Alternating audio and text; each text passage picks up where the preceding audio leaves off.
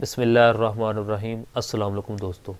दिसंबर आ गया है और अब उसकी एंट्री सर्विस बुक पर कैसे करनी है? या आपका ट्रांसफ़र हुआ है, एक वीडियो से दूसरी वीडियो के पास आप चले गए तो उस सूरत में या एक ही वीडियो पर रहते हुए आपने उसकी एंट्री पे की कैसे करनी? या प्रमोशन की सूरत में आपने पे की एंट्री सर्विस बुक पर कैसे करनी है? तो इस वीडियो के अंदर मैं आपको अमली तौर पर एंट्री करना सिखाऊँगा। और वो प्रैक्टिस शीट भी आपके साथ शेयर करूँगा और उसका लिंक नीचे डिस्क्रिप्शन में दे दूँगा। आप वहाँ से उसे डाउनलोड करके मजीद प्रैक्टिस कर सकते हैं। तो मैं हूँ जिया मुस्तफ़ा और आप देख रहे हैं एम्प्लॉयज़ कार्नर्स या यूट्यूब चैनल तो आइए स्क्रीन की तरफ़ चलते हैं। सबसे पहले हम दिसंबर की इंक्रीमेंट ऐड करते हैं। तो फॉर एग्ज़ाम्पल हम पे स्केल चार्ट पे चलते हैं और एक एम्प्लॉय देखते हैं, वह चौदहवीं स्केल के अंदर है और चौदहवीं स्केल की पे उसके यहाँ पर सार्ट आउट करते हैं। वो फॉर एग्ज़ाम्पल ले रहा है बत्तीस हज़ार नौ सौ सत्तर रुपये बत्तीस, नौ, सत्तर, वो पे ले रहा था। कब से ले रहा था? एक एक, बारह, बाईस से। तो अब जो है, इसकी एंड डेट होगी, वो होगी तीस, ग्यारह, तेईस। क्योंकि अब उसे 2023 की दिसंबर की एनुअल एनुअल इंक्रीमेंट जो है, वो यकम दिसंबर 2023 से मिलेगी। तो इसकी जो पिछली पे थी बत्तीस हज़ार नौ सौ सत्तर जो इसने यकम दिसंबर 2022 से लेगी ली थी, वो तीस ग्यारह पे जाकर एंड हो जाएगी। तीस ग्यारह दो हज़ार तेईस पे जाके एंड हो जाएगी। और यहाँ पर हम आगे रीज़न लिख देंगे। रीज़न हम एनुअल इंक्रीमेंट लिख देंगे या सालाना तरक्की उर्दू में लिख दें, जैसे आपको आसानी हो, आप वैसे लिख दें। दरमियान में यहाँ पर एम्प्लॉय के साइन आ जाएँगे, यहाँ पर डी के साइन आ जाएँगे और आखिर में डी के साइन आ जाएँगे। अब उसकी एक और इंक्रीमेंट लगेगी। तो बत्तीस नौ सत्तर जो है वो इंक्रीमेंट लगकर चौंतीस सात सौ दस हो जाएगी। तो यहाँ पर हम करेंगे चौंतीस सात सौ दस रुपये ऐड करेंगे। और कहाँ से कब स्टार्ट होगी ये? चौंतीस सात सौ दस ये होगी यकम दिसंबर 2023 से स्टार्ट होगी। आगे एम्प्लॉयज़ के साइन आ जाएँगे यहाँ पर डीडीओ के साइन आ जाएँगे और बस यहाँ पर उसका काम रोक दिया जाएगा। ऐसे ही आपने अपनी सर्विस ऊपर खुद ही एंट्री कर, कर लेनी है और आपने अपने डीडीओ से स्टैंप और साइन करवा लेने हैं। अगर ट्रांसफ़र होता है तो उस सूरत में ये एंट्री कैसे होगी? तो यहाँ से हम इसको कॉपी कर लेते हैं इसी को। कॉपी करके यहाँ पर एक नई शीट लगाते हैं। ये जो लाइन है, ये वैसे मैं आपको समझाने के लिए यहाँ पर लिखी हुई है ड्यू टू ट्रांसफ़र आपने सर्विस बुक पर ये लाइन नहीं लिखनी।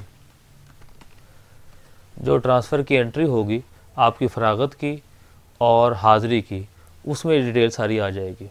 हम यहाँ पर क्या कहते हैं कि हमने कहा कि एक बंदा यकम दिसंबर 2022 से उसकी पे थी बत्तीस नौ सौ सत्तर। तो अब उसका ट्रांसफ़र हुआ। ट्रांसफ़र कब हुआ?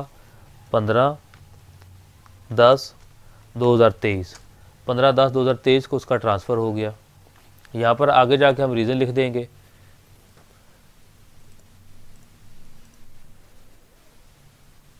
यहाँ ट्रांसफ़र लिख देंगे या तबादला उर्दू में लिख देंगे, जैसे आपको आसानी हो। और उसके बाद ट्रांसफ़र होने से पे आपकी वही रहेगी, पे आपकी चेंज नहीं होगी। तो हम वही एंट्री दोबारा डाल देंगे, बत्ती नौ सत्तर, बत्ती नौ सत्तर। अगर आपकी जो है डेट ऑफ़ ट्रांसफ़र जो है, हाज़िरी और फरागत पंद्रह दस तेईस ही है तो यहाँ पर भी आप पंद्रह दस तेईस डाल देंगे। और अगर आप फ़ारग हुए हैं, पंद्रह दस तेईस को और हाज़िर हुए हैं सोलह दस तेईस को तो यहाँ पर आप सोलह दस तेईस डाल देंगे। ये एंट्री आपने अगली जो नेक्स्ट एंट्री मैं आपको बता रहा हूँ, ये उस सूरत में डालने का, अगर आपका डीडीओ चेंज हो तो आउट ऑफ़ तहसील या आउट ऑफ़ डिस्ट्रिक्ट या आउट ऑफ़ डिपार्टमेंट या किसी और डिपार्टमेंट में, छोटे बड़े में, ऊपर नीचे आप गए हैं, आपका डीडीओ चेंज हुआ है तो उस सूरत के अंदर आपने ये ट्रांसफ़र की एंट्री डालनी है सेम पे के साथ। तो वगरना नहीं डालनी। तो अब यहाँ पर हम क्या करेंगे कि क्लोजिंग डेट डालनी है तो तीस, ग्यारह, तेईस, वही क्लोजिंग डेट आ जाएगी। उसकी रीज़न क्या लिखेंगे? उसकी रीज़न हम वही लिखेंगे कि annual increment annual increment reason आ जाएगी। अब आगे जाके हम चौंतीस, सात सौ दस पे लिख देंगे। कब से स्टार्ट हुई? एक, बारह, तेईस से स्टार्ट हुई। तो ये है ट्रांसफ़र की सूरत में। अगर ट्रांसफ़र हो और डी चेंज हो तो आप ये एंट्री रखेंगे। अगर डी चेंज नहीं होता तो फिर यहाँ पर आपको ट्रांसफ़र की एंट्री डालने की यानी पे डालने की ज़रूरत नहीं, क्योंकि आपका डी सेम है। उसी ने ही आपको हाज़िर किया, उसी ने आपको फ़ारग किया। तो पे आपकी जो चल रही थी वो ऑलरेडी चल रही है तो आप सिर्फ़, आप जो है, उसके अंदर ट्रांसफ़र की तो कर सकते हैं। लेकिन अगर आप डाल भी दें डी सेम होने की वजह से कोई हर्ज नहीं है, लेकिन डालने की ज़रूरत नहीं है, क्योंकि डी आपका सेम है।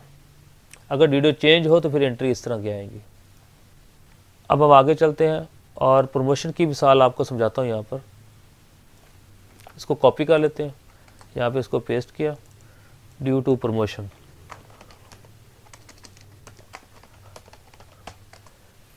प्रमोशन के अंदर आपको कोई स्केल मिला है, यकीनन तो आपने उसकी एक लाइन यहाँ पर डालनी पड़ेगी आपको कि आपको पंद्रवा स्केल मिला है। Due to promotion. यहाँ पर आप अपना पिछला अहदा बयान करेंगे और उससे आगे आप अगला उदा बयान करेंगे। फॉर एग्ज़ाम्पल एक टीचर है तो वो पीएसटी था। तो पीएसटी टू ईएसटी उसकी प्रमोशन हुई है। तो यहाँ पर हम उसका हवाला दे देंगे। तो इसी मिसाल को हम रिपीट करते हैं। यहाँ पर यहाँ पर एक बारह बाईस से जो है एनुअल इंक्रीमेंट है। फॉर एग्ज़ाम्पल उसे जो है पंद्रह दस तेईस को ही प्रमोशन मिल गई है। तो हम यहाँ पर पंद्रह दस तेईस, एक मिसाल, तमसील आपको समझा रहा हूँ। तो यहाँ पर हम प्रमोशन लिख देंगे। या अगर आप उर्दू में लिखना चाहें तो यहाँ पर उर्दू में प्रमोशन लिख दें जैसे आपकी मर्ज़ी। हो जो प्रमोशन की डेट है, जिस डेट को उसने हाज़िरी दी है, वो डेट हम यहाँ पर लिख देंगे। और लिखने के बाद यहाँ पर आप पे चेंज होगी, क्योंकि प्रमोशन की सूरत में यकीन पे चेंज होती है। तो एक मिसाल देखते देखते हम जाकर। यहाँ पर हमने देखा कि बत्तीस नौ सत्तर उसकी चौदह स्केल में थी, अब उसे पंद्रह स्केल मिल गया। तो बत्तीस नौ सौ सत्तर जो है, वो तैंतीस आठ सौ बीस पर जाके फ़िक्स होगी। तो यहाँ पर हम तैंतीस आठ सौ बीस लिखेंगे। सोलह दस तेईस से उसे तैंतीस आठ सौ बीस होगी। अगर उसकी एनुअल इंक्रीमेंट बचती होगी तो ऑप्शन ऑप्शन के ज़रिए देखना पड़ेगा चेक करना पड़ेगा कि आया कि उसकी एनुअल इंक्रीमेंट बचती है या नहीं। इस पर अलग वीडियो मैं ऑलरेडी बना चुका हूँ। मज़ीद भी आपको इस पर चाहिए तो मैं आपको मज़ीद दोबारा इस पर क्लैरिफिकेशन दे दूँगा।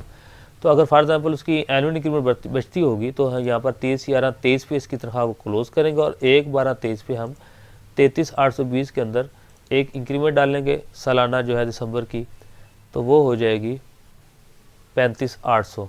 तो यहाँ पर हम पैंतीस आठ सौ टाइप करेंगे। और यहाँ पर हम रीज़न दे देंगे सालाना तरक्की, यानी एनुअल इंक्रीमेंट यहाँ पर हम रीज़न लिख देंगे। रीज़न लिखने के बाद जो है पैंतीस आठ सौ एक एक बारह तेईस से स्टार्ट हो जाएगी। ये आपकी नई एंट्री आ जाएगी ड्यू टू प्रमोशन प्रमोशन की वजह से। तो अब ये देखेगा अगर आपका डी एक ही है तो एक ही डी के साइन होंगे। अगर डी चेंज हो गया तो डी खुद ही अपनी स्टैंप पर साइन कर देगा।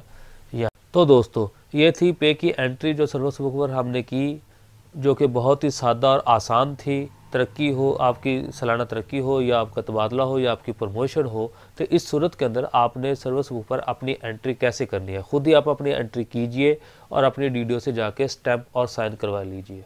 हाँ अगर कहीं पर कटिंग हो जाए तो आप उस कटिंग को ऊपर, अव्वल तो होने ना दें, अगर हो जाए तो आप उसके ऊपर डी के इनिशियल साइन करवाएँ, यानी कि उस पर उसके ऊपर भी आपको साइन वीडियो के साइन होने चाहिए। ऐसे ही मुफीद वीडियोस के लिए आप मेरे साथ जुड़े रहिए। वीडियो पसंद आए तो लाइक और शेयर ज़रूर कीजिए ताकि तमाम एम्प्लॉज़ का फ़ायदा हो सके। मेरे चैनल को सब्सक्राइब कीजिए। नेक्स्ट वीडियो आने तक इजाज़त दीजिए। अल्लाह हाफिज़।